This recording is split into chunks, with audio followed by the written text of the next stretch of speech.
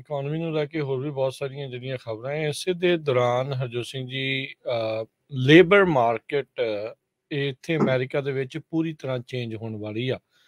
AB5 ਜਿਹੜਾ gig worker ਲਾ California ਚ ਆਇਆ ਹੁਣ ਇਹ ਸਮਝ ਲਿਆ ਜਾਵੇ ਤਕਰੀਬਨ ਵੀ ਪੂਰੇ ਫੈਡਰਲ ਪੱਧਰ ਦੇ ਉੱਤੇ ਲੇਬਰ ਡਿਪਾਰਟਮੈਂਟ ਇੱਕ ਪ੍ਰਪੋਜ਼ਲ ਲੈ ਕੇ ਆ ਰਿਹਾ ਆ ਸੋ ਬਾਈਡਨ ਪ੍ਰਸ਼ਾਸਨ ਅਧੀਨ ਲੇਬਰ ਡਿਪਾਰਟਮੈਂਟ ਨੇ ਅੱਜ ਇੱਕ ਪ੍ਰਪੋਜ਼ਲ ਰਿਲੀਜ਼ ਕੀਤਾ ਆ ਜਿਸ ਦੇ ਅਧੀਨ ਜਿਹੜੇ ਗਿਗ ਵਰਕਰਸ ਆ ਸਪੈਸਿਫਿਕ ਗਿਗ ਵਰਕਰਸ ਜਿਨ੍ਹਾਂ ਚ ਉਬਰ ਡੋਰਡੈਸ਼ ਵਾਲੇ ਜਿਹੜੇ ਆਉਂਦੇ ਆ ਉਹਨਾਂ ਨੂੰ ਰੀਕਲਾਸੀਫਾਈ ਕੀਤਾ ਜਾਊਗਾ EMPLOYEES ਦੇ ਤੌਰ ਦੇ ਉੱਤੇ ਸੋ ਅਮਰੀਕਾ ਦੀ ਜਿਹੜੀ ਗਿਗ ਇਕਨੋਮੀ ਆ ਉਹ ਪੂਰੀ ਤਰ੍ਹਾਂ ਚੇਂਜ ਹੋਣ ਜਾ ਰਹੀ ਆ ਓਵਰਹਾਲ ਜਿਹੜੀ ਉਹ ਹੋ ਸਕਦੀ ਆ ਜੇ ਜਿਹੜਾ ਪ੍ਰਪੋਜ਼ਡ ਰੂਲ ਆ ਉਹ ਕਾਨੂੰਨ ਦਾ ਰੂਪ ਅਖਤਿਆਰ ਕਰ ਲੈਂਦਾ ਆ। ਸੋ ਇਸ ਰੂਲ ਨੇ ਆਲਰੇਡੀ ਇਹ ਜਿਹੜੀ ਗਿਗ ਇਕਨੋਮੀ ਦੇ ਨਾਲ ਜੁੜੀਆਂ ਕੰਪਨੀਆਂ ਆ, ਉਹਨਾਂ ਦੇ ਸਟਾਕਸ ਧਰਤੀ ਹੇਠਾਂ ਜਿਹੜੇ ਆ, ਉਹ ਪਹੁੰਚਾ ਦਿੱਤੇ ਆ। ਉਬਰ ਡੋਡੈਸ਼ ਲਿਫਟ ਇਹਨਾਂ ਸਾਰੀਆਂ ਦੇ ਉੱਤੇ ਇਸ ਅੱਜ ਪ੍ਰਪੋਜ਼ਲ ਦਾ ਕਾਫੀ ਵੱਡਾ ਅਸਰ ਪਿਆ ਹੈਗਾ ਆ। ਇਹ ਕਹਿੰਦੇ ਵੀ ਹੁਣ ਉਸ ਟਾਈਮ ਦੇ ਉੱਤੇ ਇਹ ਪ੍ਰਪੋਜ਼ਲ ਆਇਆ ਆ, ਸਿਫਾਰਸ਼ਾਂ ਜਿਹੜੀਆਂ ਆਈਆਂ ਆ ਜਦ ਕੋਰਟ ਨੇ ਟਰੰਪ ਹੁਣਾਂ ਦੇ ਐਰਾ ਦਾ ਇੱਕ ਜਿਹੜਾ ਰੂਲ ਆ ਉਸ ਨੂੰ ਰੀਇਨਸਟੇਟ ਕੀਤਾ ਸੀਗਾ ਬਾਈਡਨ ਦੇ ਲੇਬਰ ਡਿਪਾਰਟਮੈਂਟ ਨੇ ਟਰਾਈ ਕੀਤਾ ਸੀ ਉਸ ਨੂੰ ਬਲੌਕ ਕਰਨ ਦੇ ਲਈ।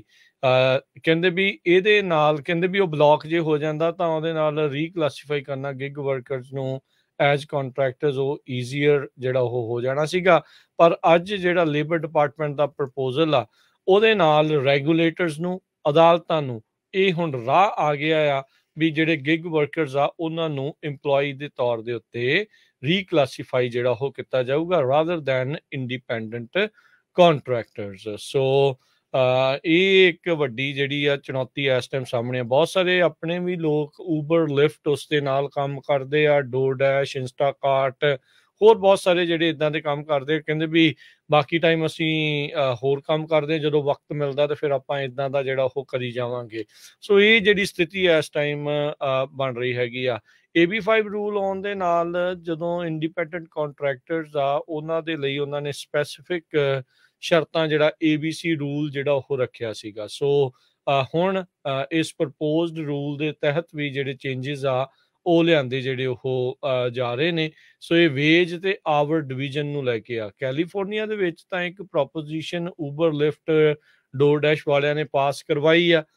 ਜਿਹੜੀ ਕਿ ਅਦਾਲਤਾਂ ਦੇ ਵਿੱਚ ਇਸ ਟਾਈਮ ਜਿਸ ਦੇ ਵਿੱਚ ਕਈ ਅਦਾਲਤਾਂ ਦਾ ਰੋਖ ਆ ਵੀ ਇਹ ਗੈਰ ਸੰਵਿਧਾਨਿਕ ਆ ਕਿਉਂਕਿ ਉਹਦੇ ਵਿੱਚ ਉਹਨਾਂ ਨੇ ਜਿਹੜੀਆਂ ਸ਼ਰਤਾਂ ਮੱਦਾਂ ਹੀ ਜਿਹੜੀਆਂ ਇਦਾਂ ਦੀਆਂ ਜਿਹੜੀਆਂ ਉਹ ਰੱਖ ਦਿੱਤੀਆਂ ਆ ਉਦੋਂ ਉਹਨਾਂ ਨੇ 200 ਮਿਲੀਅਨ ਡਾਲਰ ਜਿਹੜਾ ਸਪੈਂਡ ਕੀਤਾ ਸੀ ਹਰਜੋਤ ਸਿੰਘ ਜੀ ਵੀ ਇਹ ਜਿਹੜੇ ਗਿਗ ਵਰਕਰ ਆ ਗਿਗ ਵਰਕਰ ਦੀ ਰਹਿਣ EMPLOYEE ਨਾ ਬਣਨ ਤਾਂ ਜੋ ਇਹਨਾਂ ਕੰਪਨੀਆਂ ਨੂੰ ਆਪਣੇ ਪੱਧਰ ਦੇ ਉੱਤੇ ਕੋਈ ਵੀ ਹੋਰ ਖਰਚਾ ਆ ਉਹ ਨਾ ਪਾਣਾ ਪਵੇ ਪਰ ਹੁਣ ਲੇਬਰ ਡਿਪਾਰਟਮੈਂਟ ਦੇ ਦੁਆਰਾ ਇਸ ਪ੍ਰਪੋਜ਼ਲ ਦੇ ਨਾਲ ਇਹ ਸਾਰੀਆਂ ਚੀਜ਼ਾਂ ਨੂੰ ਦੁਬਾਰਾ ਮੁੜ